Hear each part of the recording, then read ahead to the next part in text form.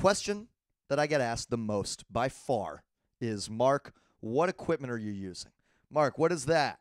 Marc, what's what's this? Marc, what's that? What do you what is this? Marc, what is it? Shut up. I'm about to tell you. I feel like when people do these videos, they have some sort of bullshit royalty free background music playing underneath. So I'm I'm just gonna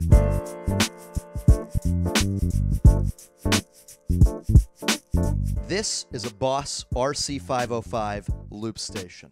It has five channels. Each channel can be overdubbed. Uh, I, I haven't reached a limit, so it's a lot of times. These two knobs control the input FX and the track FX. The input FX affect everything directly coming into the looper as an input. My voice is affected by this and the instruments are affected by that. Once I actually lay a track down,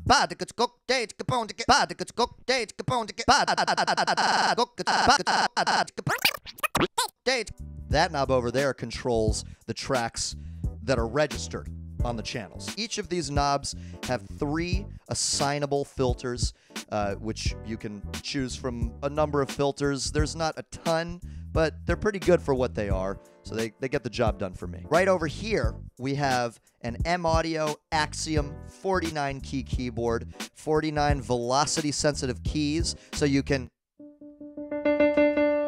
press as soft or as hard as you want. And then we have eight assignable drum pads, also velocity sensitive. These knobs, buttons, and sliders can all be assigned to various MIDI functions. Um, I, I don't use them right now. I may in the future, okay? Let me let me work at my own pace, all right? Here we have my MacBook Pro. It's a great machine. And the software I'm running is MainStage. MainStage is a live performance environment for Logic Pro. So essentially, I'm running Logic Pro through MainStage. Within MainStage, I have uh, various plugins, virtual instrument libraries, and drum kits, which I can pull up here. I've assigned them by category. I've got my drums, I've got my percussion sounds, I've got keys, bass, synth, uh, various sound effects, orchestral effects, and then a little guitar plugin down here, which I very rarely use. The drum kits that I've put together over the years, I've done using uh, the Ultrabeat sampler, which is a sampler that's available within Logic. It essentially allows you to assign any number of samples and sounds to not only the keys on the keyboard, but also the drum pads. And you can invoke them at will, so you can just play some drums. The piano sound that I use is Cinesamples' Piano in Blue. It's one of my favorite sounds ever. It's a virtual instrument, um, but it's recorded from a real grand piano, and not just any grand piano. It's recorded uh, from the grand piano that Bill Evans used to play on the Kind of Blue sessions. So it's it's just a beautiful sound. And as far as I remember, I think they recorded something like 32 separate velocities for each key. Um, it's it's just very expressive. It's about as close to a real piano as you can get on the computer. This instrument runs through Kontakt, which is a wonderful and powerful instrument library management tool.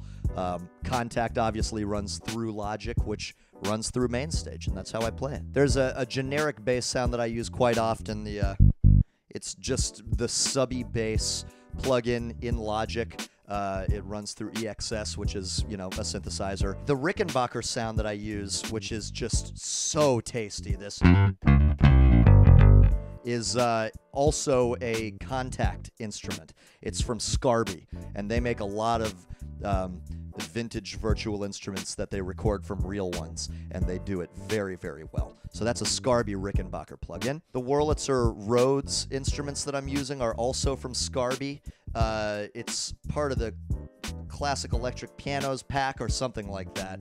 And uh, anyway, they've, you know, again recorded real Rhodes and Wurlitzer instruments, and they just sound so warm and you can adjust them as you wish and make them sound crunchy or clean or give them a click or take the click away. There's a number of things you can do with them, and uh, and they're lovely. I also have a bunch of synth sounds and bass sounds that I've pulled from Massive, which is a Native Instruments synth that is extremely diverse and comes loaded with thousands and thousands of sounds that you can fuck with and tweak to your will. So to summarize, I have my computer, which has MainStage, logic, Kontakt, massive, all my instruments housed there.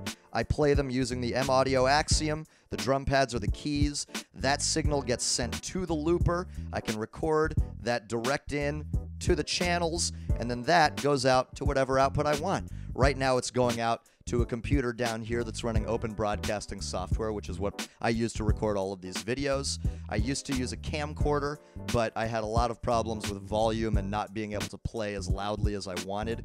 Um, I switched that out for this laptop and a Logitech C920 webcam, which is fine, produces relatively decent quality, and it's not very expensive. So that's my thing in a nutshell. I hope I've covered everything. Uh, if I haven't, please let me know in the comments. I'd be happy to answer any additional questions.